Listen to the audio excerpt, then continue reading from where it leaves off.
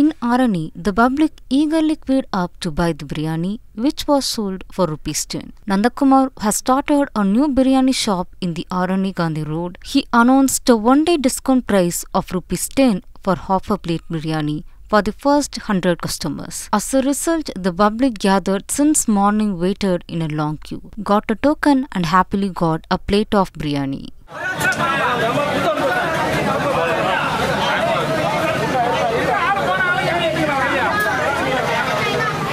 Dua kali.